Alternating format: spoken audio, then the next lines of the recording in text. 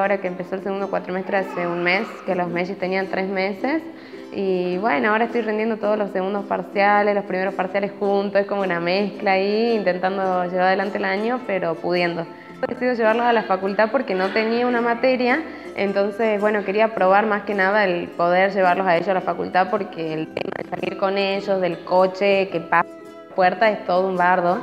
Este, entonces, bueno, quería probar más que nada para llevarlos cada vez que los necesite. Cañete ya me había dicho, a mi clase, que yo te voy a ayudar, él los quería conocer, todo, entonces, bueno, y aproveché, este, y bueno, dentro de clase yo estaba tomando apuntes y pasa, empieza a mover, y se movía, y se movía, y la ayudante de cátedra viene y me dice, bueno, te la llevo a dar un paseo. Digo yo, bueno, buenísimo. Entonces la agarra, la saca y me lleva una mamadera y la alimenta. Te digo, buenísimo, es como que te saca un estrés de encima. Este, y de ahí Tommy empezaba a moverse para que lo alce. Entonces lo alzo un ratito, me lo pongo de este lado y con la otra mano tomaba apuntes. Y el profesor cuando me ve se me acerca y me dice, no, ya te lo agarro yo. Se lo alza y cuando yo veo el momento, este, me ha enternecido tanto la imagen y me ha parecido como un momento para recordar sí o sí, eh, para ellos también.